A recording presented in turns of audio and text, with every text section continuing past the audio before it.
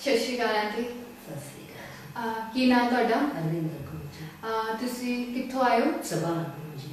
ਅੱਛਾ ਜੀ ਤੁਸੀਂ ਕਿਹੜਾ ਆਪਰੇਸ਼ਨ ਕਰਵਾਇਆ? ਅਰਲਾ ਪੇਦਾ ਹਾਂਜੀ ਤੁਸੀਂ ਮੋਟਾਪਾ ਘਟਾਉਣ ਲਈ ਬੈਰੀਆਟ੍ਰਿਕ ਗੈਸਟ੍ਰਿਕ ਬਾਈਪਾਸ ਸਰਜਰੀ। ਕਰਾਈ? ਅੱਛਾ ਜੀ। ਤੁਹਾਡਾ ਕਿੰਨਾ ਵਜ਼ਨ ਸੀਗਾ ਆਪਰੇਸ਼ਨ ਤੋਂ ਪਹਿਲਾਂ? ਤੁਹਾਨੂੰ ਕੀ ਕੀ ਦਿੱਕਤ ਆਉਂਦੀ ਪਈ ਸੀ ਕਿ ਤੁਹਾਨੂੰ ਬਹੁਤ। ਲੱਗੇ ਕਿ ਤੁਹਾਨੂੰ ਆਪਰੇਸ਼ਨ ਕਰਾਉਣ ਦੀ ਲੋੜ ਹੈਗੀ ਹੈ? ਸਾਹ ਚੜਦਾ ਸੀ ਬਹੁਤ ਮੈਂ ਤੁਰ ਨਹੀਂ ਆ ਸਕਦੀ। ਅੱਛਾ ਜੀ। ਬਹੁਤ ਜ਼ਿਆਦਾ ਸੋਜਾਂ ਪੈ ਜਾਂਦੀਆਂ ਸੀ।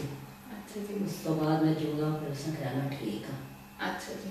ਅਹ ਕਿੰਨਾ ਵਜ਼ਨ ਘਟ ਗਿਆ 24 ਕਿਲੋ ਤੁਹਾਡਾ ਘਟ ਗਿਆ। ਅੱਛਾ ਜੀ। ਕਿੰਨੀ ਦੇਰ ਹੋ ਗਈ ਆਪਰੇਸ਼ਨ ਨੂੰ? 8 ਮਹੀਨੇ ਹੋ ਗਏ। 8 ਮਹੀਨੇ ਹੋ ਗਏ। 8 ਮਹੀਨੇ ਵਿੱਚ 34 ਕਿਲੋ ਘਟਾ ਕੇ ਕਿੱਦਾਂ ਦਾ ਲੱਗਦਾ ਪਿਆ? ਬਹੁਤ ਵਧੀਆ ਲੱਗਦਾ ਜੀ। ਵਧੀਆ ਲੱਗਦਾ ਪਿਆ। ਹੁਣ ਪਹਿਲੇ ਤੋਂ ਜ਼ਿੰਦਗੀ ਥੋੜੀ ਆਸਾਨ ਹੋਈ ਹੈ। ਹਾਂ, ਹੋ ਗਈ ਹੈ। ਹੁਣ ਚੱਲਣ ਫਿਰਨ 'ਚ ਕੋਈ ਦਿੱਕਤ ਤਾਂ ਨਹੀਂ ਆਉਂਦੀ? ਅੱਗੇ ਤਾਂ ਮੈਂ ਤੁਹਾਨੂੰ ਦੱਸਿਆ ਇੱਕ ਕਮਰੇ ਤੋਂ ਦੂਜੇ ਕਮਰੇ ਨਹੀਂ ਜਾ ਸਕਦੀ ਸਾਂ। ਹੁਣ ਜਦੋਂ ਕੋਠੇ ਭਾਵੇਂ ਜਿਹੜੇ ਦੋ ਤਿੰਨ ਵਾਰੀ ਚੜ ਜਾਂਦੀਆਂ ਉੱਤਰ ਵੀ ਜਾਂਦੀਆਂ ਬੱਚੇ ਲੈ ਕੇ। ਚਲੋ ਠੀਕ ਹੈ। ਹੁਣ ਮਤਲਬ ਕਿ ਤੁਹਾਡਾ ਜੋੜਾਂ ਦਾ ਦਰਦ ਵਗੈਰਾ ਇਹ ਸਭ ਠੀਕ ਹੈਗਾ? ਤਾਂ ਤੇ ਹਾਂ ਮੈਂ ਬਿਲਕੁਲ ਠੀਕ ਹਾਂ। ਖਾਂਦਾ ਪੀਤਾ ਜਾਂਦਾ ਸਭ ਕੁਝ ਹਾਂ ਖਾ ਲਈਦਾ ਚਲੋ ਠੀਕ ਹੈ।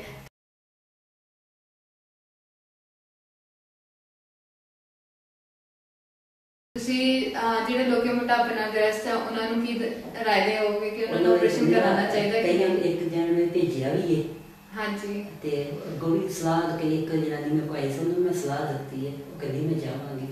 ਤੁਹਾਨੂੰ ਲੱਗਦਾ ਹੈ ਕਿ ਆਪਰੇਸ਼ਨ ਦੇ ਫਾਇਦੇ ਹੈਗੇ ਆ। ਲੋਕਾਂ ਨੂੰ ਕਰਾਉਣਾ ਚਾਹੀਦਾ ਹੈ ਆਪਰੇਸ਼ਨ ਹਾਂ ਕਰਾਉਣਾ ਚਾਹੀਦਾ। ਪੈਸੇ ਤਾਂ ਲੱਗ ਜਾਂਦੇ ਚਲੋ ਜਾਨ ਤੇ ਸੌਖੀ ਹੈ ਚਲੋ ਠੀਕ ਹੈ ਜੀ। ਥੈਂਕ ਯੂ ਸਤਿ ਸ਼੍ਰੀ ਅਕਾਲ।